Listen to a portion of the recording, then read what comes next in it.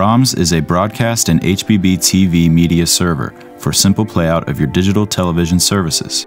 It's the right solution wherever transport streams accompanied by HbbTV applications can be played out. The intuitive user interface enables quick configuration and easy setup of HbbTV services with all required signaling. Automatic configuration assistance and enhanced error detection assure fast and simple handling. Brahms is a very cost-efficient solution for creating and multiplexing DVB transport streams. It's especially designed for content producers to get their HbbTV applications shown on screen.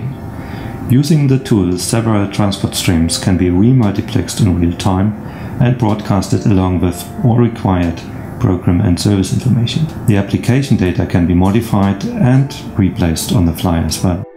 Brahms uses transport stream files as input, and for the output, there are multiple options available.